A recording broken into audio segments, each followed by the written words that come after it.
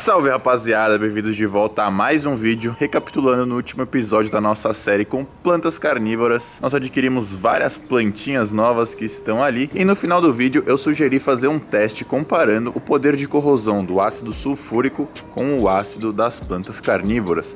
Eis que eu vi um comentário que me veio uma ideia Melhor ainda, um inscrito me recomendou testar o poder de corrosão do ácido do estômago humano. E aí me veio a ideia, pô, acho que daria um vídeo bacana comparar o ácido do estômago humano versus o ácido das plantas carnívoras. Bom, então como é que vai funcionar o negócio? Aqui nós temos um litrão de ácido clorídrico, que é o principal ácido do nosso suco gástrico, tá? Eu pesquisei, ele não é composto só pelo ácido clorídrico. Além do ácido clorídrico, nós também temos várias enzimas digestivas, como a pepsina, responsável pela quebra das proteínas, mas o ácido clorídrico é bem corrosivo e é o principal componente do nosso suco gástrico. Esse aqui está exatamente na mesma proporção do encontrado no nosso estômago. E tenho aqui nossa família das carnívoras, nossas duas nepentes, plantas de jarro, aqui o nosso Victribel, estão firmes e fortes, e as nossas Dioneias, a B52, que ainda não abriu aquela aranha, ela ainda está fechada. Estou aqui com uma seringuinha, eu vou retirar todo o líquido encontrado dentro de todos os jarros desses três jarros, desses três jarros. Com a nossa seringa eu também vou pegar as nossas bocas que estão digerindo insetos. Vamos ver se esse aqui tá. Tá, ó. Você aperta ó, como sai ali as bolinhas, tá vendo? Eu vou pegar todas as bocas aqui da nossa Dionea, que eu acho que tem a enzima ainda mais poderosa. Vou extrair com a nossa seringa, sem, claro, furar ela, né? Vou encaixar, abrir ela um pouquinho, encaixar aqui por dentro. Vou juntar aqui num potinho, vamos ver quanto a gente vai conseguir. Não sei se vai ser suficiente para encher dois potinhos aqui, mas pelo menos um. E aí o que nós vamos fazer, eu vou colocar materiais para serem digeridos no ácido clorídrico e no ácido das plantas por 24 horas. E a gente vai vir aqui comparar qual tem um maior poder corrosivo, o que aconteceu com as coisas. Então vamos começar aqui primeiro com as enzimas da Victribel, como vocês apelidaram. Eu vi que essa planta aqui, ela não tem uma enzima própria tão ácida igual a dioneia. O que acontece é que ficam várias bactérias aqui, pelo menos, né? Eu vi isso num comentário, não fui pesquisar a fundo para ser bem sincero, mas um cara comentou que isso aqui fica tipo uma sopa de bactérias e as bactérias que acabam corroendo e decompondo as coisas que caem aqui e não um ácido como a dioneia. Pô, tive uma ideia um tanto quanto mais inteligente, né? Só virar o jarrinho. Então, na verdade, isso aqui é água da chuva com bactérias. Possivelmente deve ser um pouco ácido também. Vou providenciar para o nosso próximo vídeo um daqueles negócios de medir o pH e aí a gente vai conseguir ver com maior precisão. Se eu der uma escurecida aqui, vai chover já já. Terminar essa parte, a gente vai fazer o final do teste ali indoor. Agora, as dioneias, se eu conseguir pegar um pouquinho, eu já tô feliz. Nossa, tá com bastante, hein? Bom, vou repetir esse processo em todas as bocas. Vamos ver quanto eu consigo. E vou voltar na hora de despejar aqui. 2000 years later. Depois de uma extensa jornada, isso foi o que eu consegui extrair. Deve ter tipo 1 ml de enzima digestiva da nossa Dioneia. Meu, é muito grosso o negócio, olha só isso, ó. Um líquido muito mais denso, ó. Eu aperto a seringa, ó, tem que apertar muito forte. Olha como ele cai de gotinha, tá vendo? Ele não é tão aquoso igual o outro. Foi isso que nós conseguimos. Tentar colocar uma quantidade bem parecida. Tem um pouco mais de ácido clorídrico, mas não tem problema. É isso. A princípio eu havia pensado em encher dois potinhos de cada um e eu ia colocar um com um material metálico, uma lâmina de gilete. Eu fiquei sabendo que tem um resultado muito interessante no ácido clorídrico e alguma coisa orgânica. Eu tinha separado aqui uma maçã e ia cortar um pedacinho de calabresa, uma coisa que se decompõe mais fácil e uma coisa mais gordurosa, bem mais difícil de decompor. Temos aqui os nossos dois pedaços de calabresa, os nossos dois pedaços de maçã, uma lâmina de gilete. Vou colocar uma na planta uma na simulação mais fiel ao nosso estômago humano, uma calabresa para as plantinhas, um pedaço de maçã, um pedaço de maçã. Eu cortei a maiorzinho porque acho que vai ser interessante ele ficar um pouco submerso e uma parte para fora. A gente vai conseguir comparar bem. A calabresa já caiu por inteira e agora no clorídrico, um pedaço de calabresa, um pedaço de maçã. Deixa eu ver se eu consigo deixar ele sem cair. É, ficou uma pontinha ali para fora.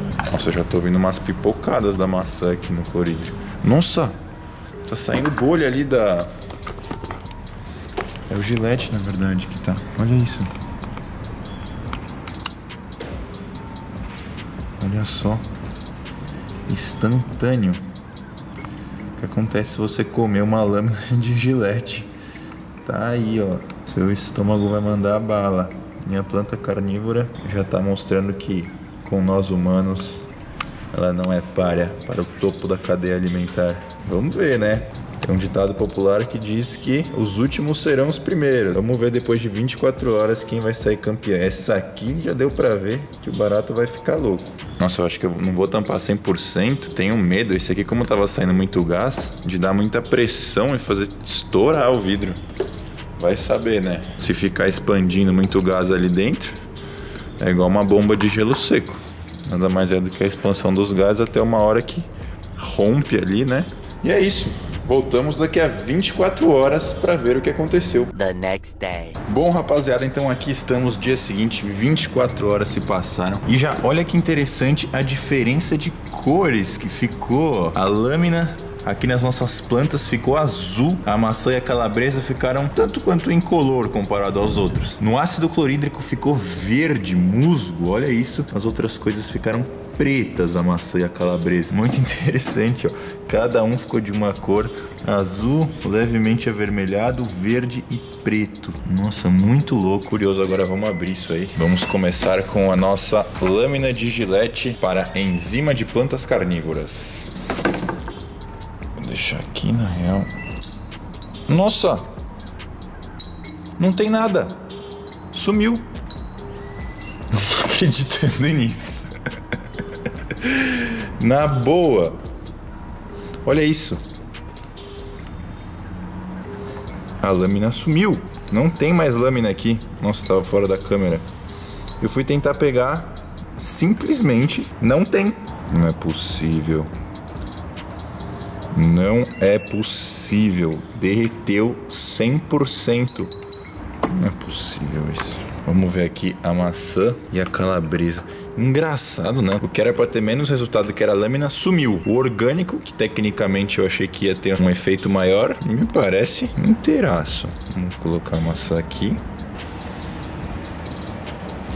Olha só, descoloriu um pouco a princípio, mas nossa, também está se desfazendo.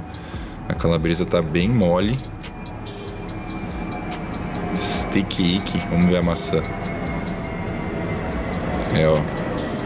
Ela não tá crocante, ela tá mole. Mas assim, existiram mais do que a nossa lâmina de gilete. Nossa, não tô acreditando que a lâmina sumiu ali.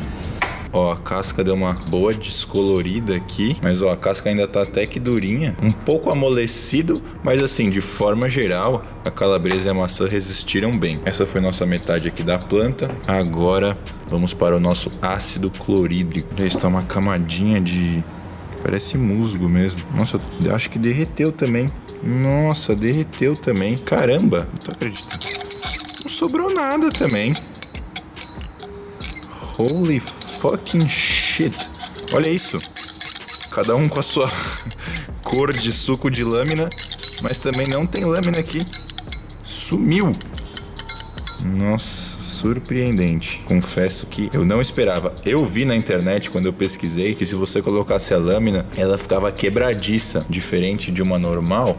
Porque se a gente pegar uma aqui, ó, você vê que se eu dobrar ela, ela é bem fininha essa lâmina. Tipo, ela não quebra, tá vendo? Ó? Aí eu li que ela ficava quebradiça, mas eu acho que deve ser uma lâmina bem mais grossa, que essa é aquela ultra fininha, muito, muito, muito fininha. E meu, sumiu. A gente viu que deu aquele resultado ali meio que instantâneo, né? Que começou a, a borbulhar, derreteu completamente. Por mais que seja um metal fino, eu fiquei muito surpreso. Cada um com a sua cor, a sua peculiaridade, mas tanto nós quanto as plantas devoramos a lâmina de gilete. Agora vamos ver uma massazinha, uma calabresa. Pelo visto aqui, a gente teve um resultado melhor que as plantas na digestão. Olha só isso. Nossa maçã, nossa, tá muito mais mole.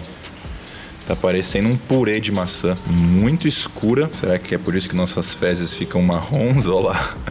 A maçãzona ficou marrom. Olha a casca dela, completamente escura. Muito mais mole do que a outra. Vamos agora para a calabresa. Calabresa já é uma coisa mais. Nossa, sumiu. Caramba, que esquisito. Será que é tão difícil digerir uma maçã? Calabresa foi pro brejo.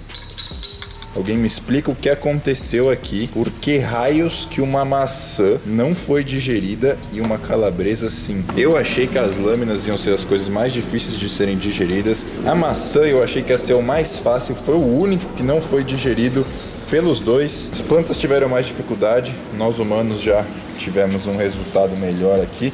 Isso ainda sem as nossas enzimas, hein? Isso aqui é só o ácido clorídrico. Como eu falei no começo do vídeo, nós também temos outras enzimas responsáveis pela quebra, as proteínas, carboidratos, enfim, todas essas coisas. Calabresa, que era para ser o intermediário, né? Uma coisa gordurosa. É que nossas plantas tiveram um desempenho legal, ela ficou bem molenga, parecendo um purê também.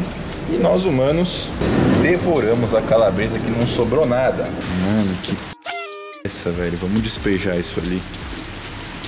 Eu vou despejar aqui na tampa, ó, que a gente consegue ver melhor. Olha. Umas raspinhas ali, ó. Uns micro pedaços. E agora o regurgito do Shrek aqui. Se você comer algum dia comer uma lâmina de gilete, suas fezes vão sair dessa cor.